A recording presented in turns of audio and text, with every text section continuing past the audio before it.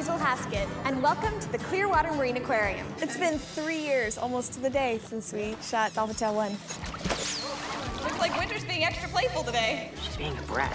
Those three years, the kids have grown up. New dolphins arrived. The aquarium changes, and I thought, well, that's it. That's what I can make this movie about. Winter needs to be paired with another female, and soon. When one door closes, another door opens, you know, and that's the main message for the second one, too.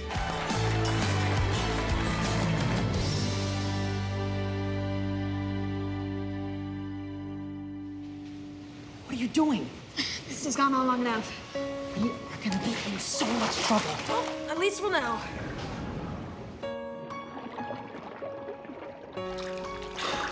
They're older than the first movie, and so they're not little kids anymore. They're young adults, and as young adults, they want more authorship over how situations are handled at the aquarium. Marine Fisheries just picked up a stranding. Clay, it's a female. All right, everyone, when that truck arrives, you will hear one voice, and it will be mine. Sawyer, I want you right beside me. Yes, sir. The kids are really empowered at the aquarium. They have a lot of authority. They have a lot of know-how about dealing with the animals. We'll need x-rays, make sure nothing's broken. CT scan? Yeah, and blood work. At the end of the first movie, Hazel and Sawyer seem like it's a budding friendship, you know, like they're probably gonna end up being friends, but by the second movie, they're definitely best friends, and I think that's that's a special element, but also they're growing up. It's a big world, Sawyer. You have to shake it up now and then to get it moving forward. It's, it's definitely fun to be a Sawyer because he's an interesting character, and I think he's definitely changed over the past couple years. He, he's not as shy because Winter really brought that openness out of him, so now he's a lot more open. How you doing? When Nathan is talking to Winter, it's so tender and so genuine, and Winter responds directly to Nathan. Come back. I promise.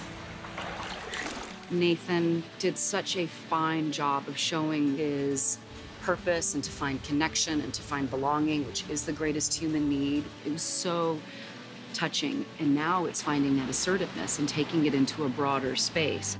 Safety first. Theirs and ours. When did you get so bossy? He's gonna go out and really do some big things.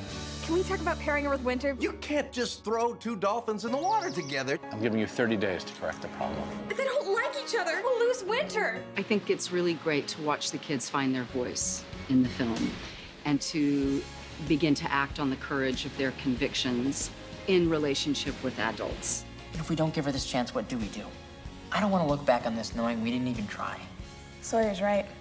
Working with Nathan Gamble and Cozi Zuehlsdorff, who play Sawyer and Hazel, I really treasure those scenes. And I know what you see on the screen is very, very genuine.